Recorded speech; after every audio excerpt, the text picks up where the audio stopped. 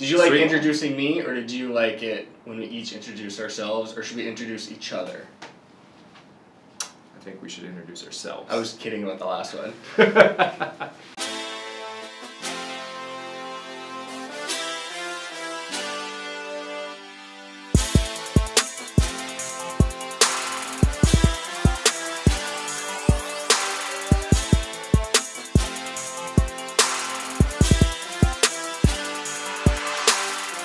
Welcome to episode two of the Myriad Show. I'm Danny Brown. Skyler Irvine, happy Myriad Monday. Got Jillian over here.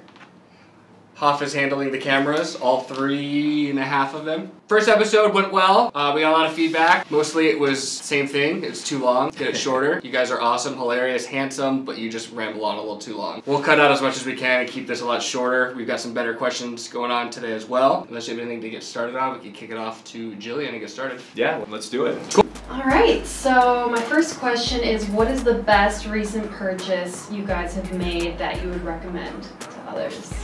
I'm gonna jump in on this one because I was shocked with how much these actually have been awesome. These are the Apple EarPods. They announced them, they looked ridiculous. Of course I was gonna buy them because I'm an Apple guy, I buy everything Apple makes. The underrated thing about them is that this is Apple's secret answer to what we talked about last time with the smart home stuff, which was the Alexa and the Google Home. What's insane about these is that when they're in your ears, you kind of forget that they're there. You can control them by tapping them. They're with you everywhere you go versus the Google Home or the Alexa that you have to be near the box at all times. This does all of the same things and more, and then the little things it does without having to actually learn how to use them. Like you don't read an instruction manual, you don't have to like watch a YouTube tutorial, you just put them in, all of a sudden they just make a noise and they've synced and they're on your phone. You can turn them onto your computer or your iPad, and as you go throughout your day, you take one out, it stops whatever it's playing, you put it back in, it starts again. There's these little things where I just keep trying something to see like, will this work? And then it does, and I'm like I'm like re-impressed with it. How's the battery life on them? I've never had an issue. I have chargers everywhere, so that's not a big deal. But what's nice is the case charges them as well. So I don't know how long these actually last for, or how long the case lasts for, but when they're not in your ears, you're putting them in your case and they're charging. And then if I need to, the case is charging in my car or charging at home. I've left my phone in my desk and walked around the office with these, playing a podcast, talking on the phone. I've walked- noticed. Yeah, it's like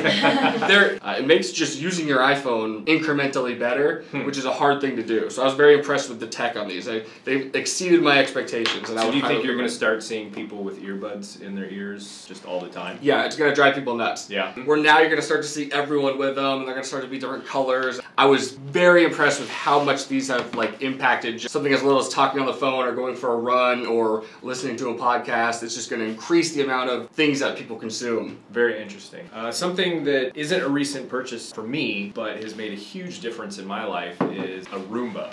I have a Roomba at my house. If you know anything about me, I'm a little neurotic when it comes to cleanliness. I hate clutter and dirt and just grime. And the Roomba is fantastic, especially the newer generation. I can control it from my phone and it does a really good job of cleaning your house in between deep cleanings. Do you have to buy a specific model depending on the type of flooring you have, or is it like okay? No, it works on carpeting, it works on tile, hardwood. Our house is tile and it will run for 90 minutes. How much is a new one? So if you get the new one that's Wi-Fi enabled, it's a little bit pricey. It's like 900, Yeah. between 900 and $1,000.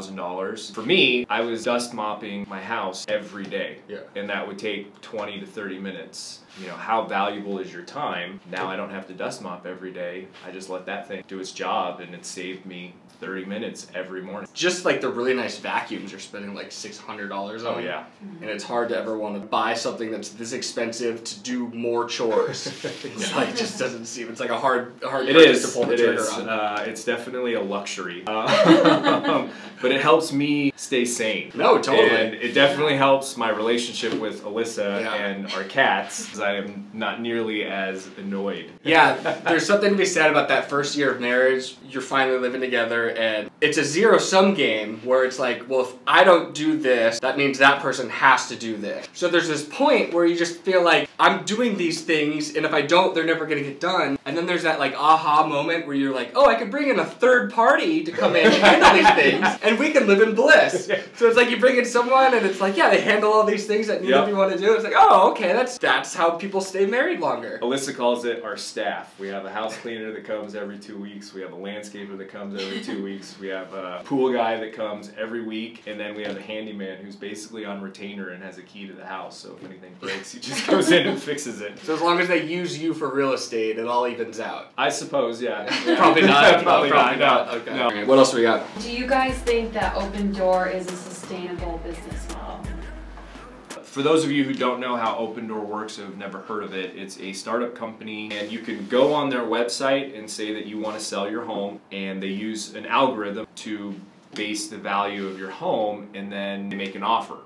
Yeah, long story short, it's just a company that says, we'll buy your house cash, close in two weeks, and you can move on and go. For people that are looking to sell their house quickly, it makes sense because they can just move on and sell it. They're understanding that you're selling at below market value because where they're making up for it is speed. So they're paying cash, close quickly, and move on. So they have to buy it for a little less, and it's a volume play. In order for them to make money, they have to be doing it at a high scale of properties, and turning them over quickly is their best scenario. They make up a lot of their deficiencies by charging fees peace not totally what they're saying when they say, yeah, we'll buy it with no realtor fees. Well, yeah, there's other fees that they charge. Right. And there's always going to be companies out there that are looking to do things quickly. As far as long term sustainability goes, it's difficult because you cannot factor in carrying cost. It's such a variable that is hard to predict, especially as you try to scale it into different markets. Something that might be an issue in Phoenix, then you go into Chicago and you try to run the same business model. Well, all of a sudden, you're not working, worried about air conditioners breaking, but you're worrying about radiators and snow issues with the roofs and stuff. So Absolutely. these variable costs change from city to city, and in order to be able to predict that, I mean, you're seeing with just these REITs that came in and bought all these residential properties to rent them out. Blackstone was one of them. They're- American Homes for Rent. Hi, Katrina. American Home for Rent, like they're going public and their numbers are showing that they're not profitable because they're so expensive to maintain. And there's not one way of doing it across the board because every house is its own thing. Right. So anytime you try to put your house into an algorithm or a model, there's too many unpredictable events in order to make it like a business algorithm that actually makes sense. For sellers that are looking to do Opendoor, take a crack at a realtor first because with the amount of fees that they're charging and you know you're selling below market value, go with a real estate agent and Yeah. price it below market value and do 6% and save yourself money. It'll sell just as fast. I always say this and it's hard for people to comprehend, but you can almost never price a home too low. If you do, the market will find it and you're going to end up with multiple people interested in your house. They're going to do multiple bids on the property. They're going to drive the price up. So if you go the Opendoor route, I really think that you're costing yourself more than just selling it slightly below market value and that 8 to 12%. You're Yeah, and at the very least, like with Opendoor, you're getting one investor's cash offer. Yeah. And in Yeah. reality, there's a lot of investors out there that will pay cash for properties that you might not be aware of. And the second it goes up on the open market and people see it's undervalued, Yeah. there's going to be cash investors on it because there's a lot more people out there than just Opendoor. So you're almost limiting yourself to one quick sale when you could probably get in either a quicker sale, more money, Mhm. or a lot less stress. And it's something that's definitely worth a shot. They're an investor with a cool technology platform. That's really all they are. Cool. Let's go to the next question. Yeah. Talk to Opendoor now. All right. Um, what book are you currently reading?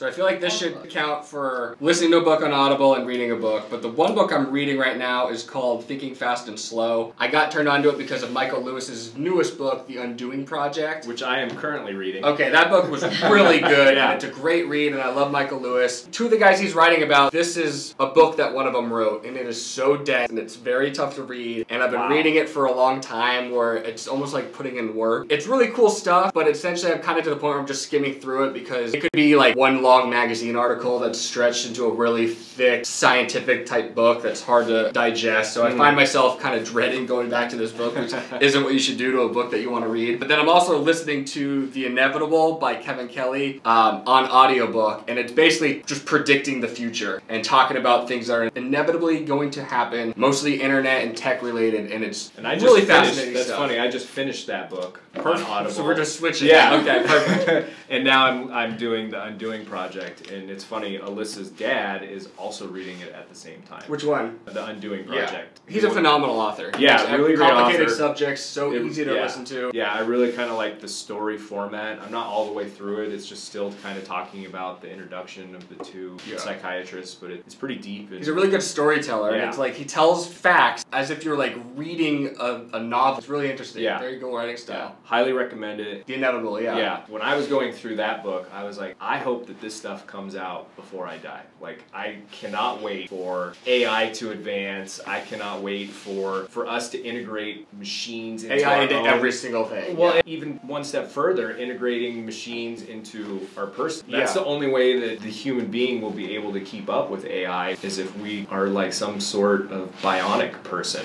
Yeah, and it was interesting. At one point, he talked about if, as long as we can solve the problem of like living past like 140, which sounds like inconceivable, but a lot of those problems are like I don't know. I plan to live to 120 now. They basically, once you get to that point, there's no reason you can't live to a thousand. That type of stuff to get your mind around just seems so weird. yeah. But going back 200, 300 years ago and talking to people that were dying at 18, 19, 30, or 40 years old was an old person, telling them that the average lifespan's 80 plus now would seem pretty inconceivable. So Right. it's really crazy stuff, but what I like about it is it, it doesn't really go on about like, should we do this or how should we do that? Basically, this is happening and, he, and how people react is going to be everything. Well, he also goes on to talk about how it's the current arms race right now, that all these different countries are focused on AI. Whoever gets super AI first will be so much further ahead than anyone else that they will dominate just in all. But is that a country thing, or is that going to be more of a corporation thing? Because what if it's Facebook or Apple? Does that count as the U.S.? Because that's a multinational corporation who sells products all over the world. Yeah. If anything's going to prevent future wars between countries, it's going to be those huge companies being so ingrained in all these different places, where the likelihood of a nation against a nation grows smaller and smaller. That's that's a good point. Maybe I'm overthinking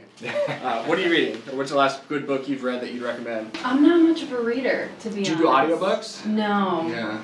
I just like I'll start a book and I can never finish. Yeah, I think that's how you were for the longest time until you got into audiobooks. Yeah, audiobooks Yeah. definitely help. We do so much driving. Right. You kind of get tired of listening to the same song. So I- And specifically Audible, the app, because I remember listening to a book before Audible came out, and if you turned your phone off or something, you had to start the book over. Like it wouldn't. Oh, now there's yeah. chapters. It can keep your place. You can save bookmarks and Oh, stuff. Yeah, And then with these things, you can just listen to them everywhere you go. that's cool.